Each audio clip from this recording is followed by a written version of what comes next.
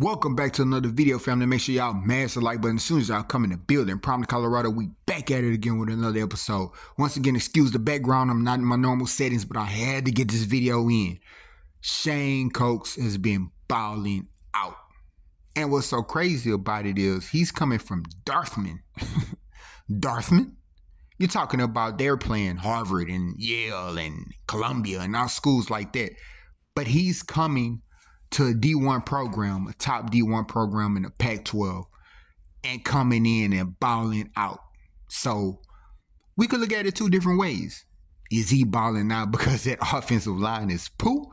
Or is he balling out because he just a baller? I think it's the latter. I think he's just a problem. But Coach Prime did make a, a interesting statement in his press conference saying, you know, sometimes you could have Tarzan in your group and they beasting on the people that they're going against in, your, in their backyard.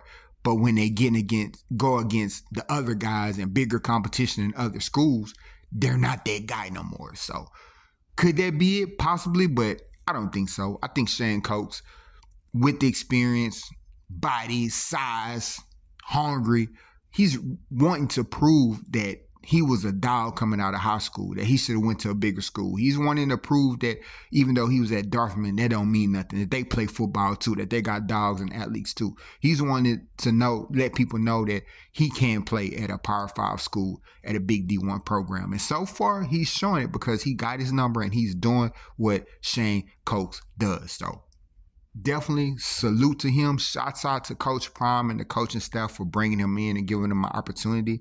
And so far, it's paying dividends because it's paying off and he's doing what he needs to do to dominate at Colorado on their football field in spring football right now. But y'all let me know what y'all think about this in the comment section. Make sure y'all like the video and subscribe to the channel. Y'all know who it is.